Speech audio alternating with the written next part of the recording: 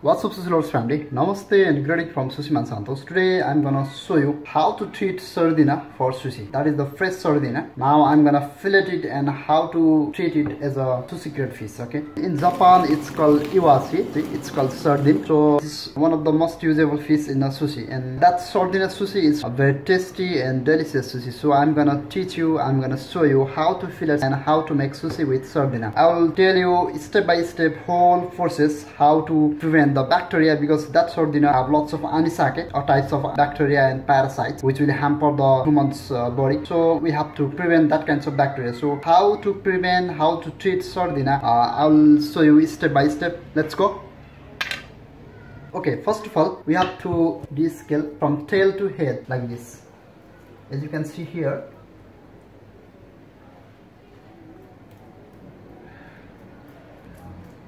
sardina don't have too much scales same as like the other fish. Softly and gently.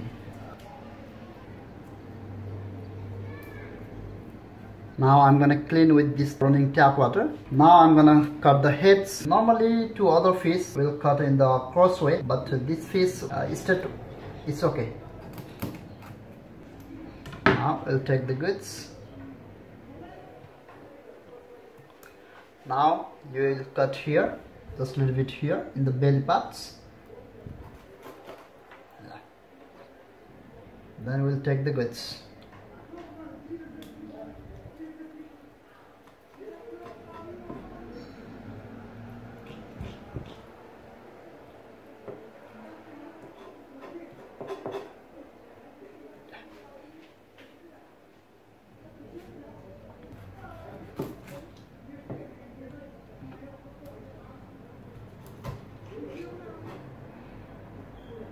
can use your knife to take out the goods.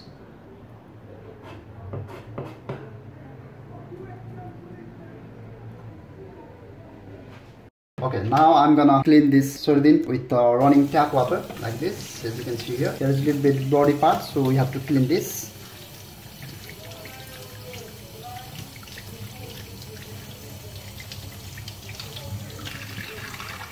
Now this is the another one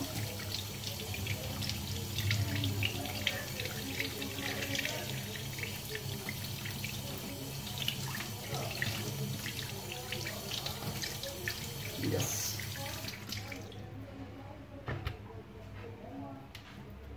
now you have to clean the your chopping board as well. Your cutting board we are playing the with raw fish so we have to be careful. Nice. Thank you guys. Don't forget to subscribe okay? Now we have to make dry with this paper. I'm using that towel paper to fillet it it's very easy. You don't need to any um, deba knife or you don't need to be any chef knife or Yanagiba knife. It's very simple. I'm gonna teach you very simple techniques okay? You have to be careful. You have to look at this okay? Here is the middle part as you can see here. That is the middle part. So i will cut a little bit left side from the middle part. Just like this and the right side from the middle part as well. Just this distance as you can see here.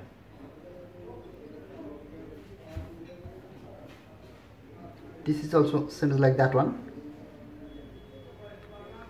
And yes. If you want you can cut the tail part also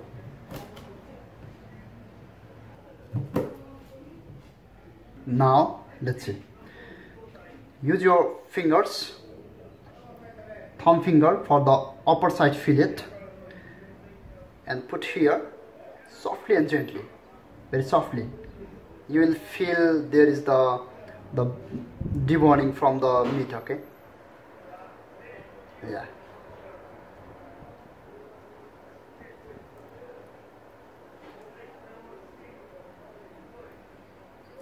softly and gently.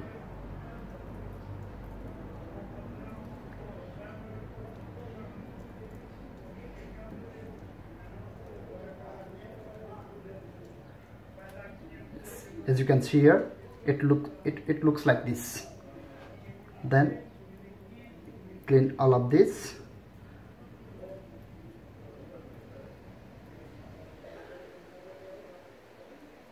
you can do same as like that one with your index finger.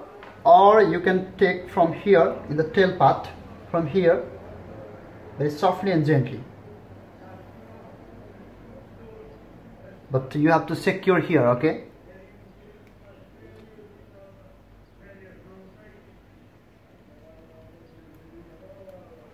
Yes. It's very easy. You can use this tempura tempura butter and you can do the deep fried and you can serve as a bone cracker. Let's try another ones. Let's see here okay? It's very easy. Use your thumb finger for the upper side and softly and gently push here.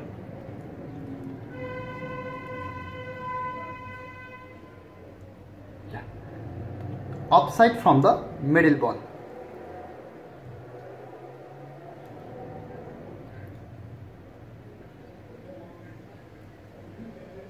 then softly and gently. That part is a little bit hard. The second part is very easy. As you can see here now you can debone this middle bone with securing the meat. But you have to secure the meat okay? Very softly. Yes. Very simple and very easy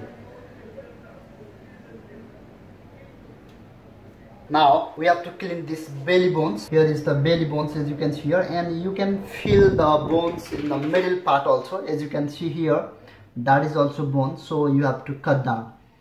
Firstly i'll cut down the belly bones okay? In the in the middle we have little bit bones just little bit. First i'll clean the belly bones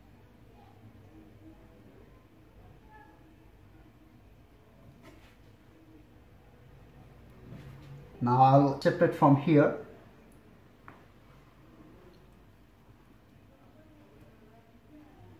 And here is the middle bones. Just a little bit you can feel the hardness. That is also bone. So I'm gonna cut these ones.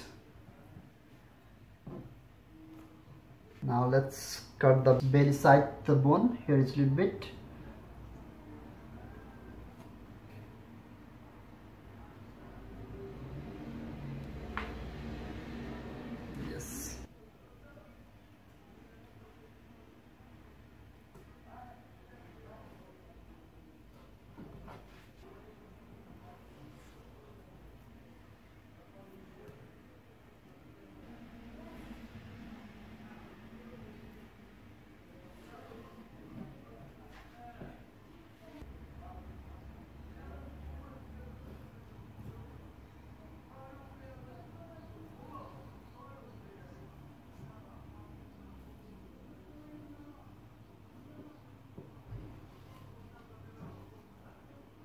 I have here just a little bit here in the middle part middle bones.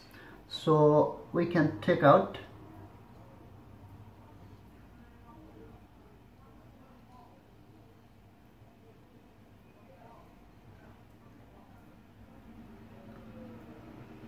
With help of the tweezer